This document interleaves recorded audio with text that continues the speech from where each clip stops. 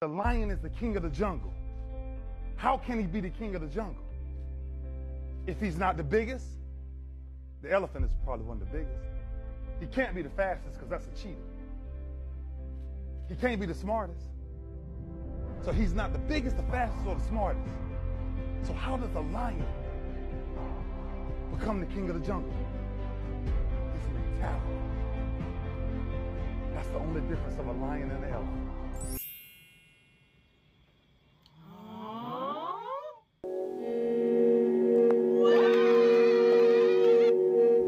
Is cheap until commitment to action comes into the picture. When you dream, there's no need for processing.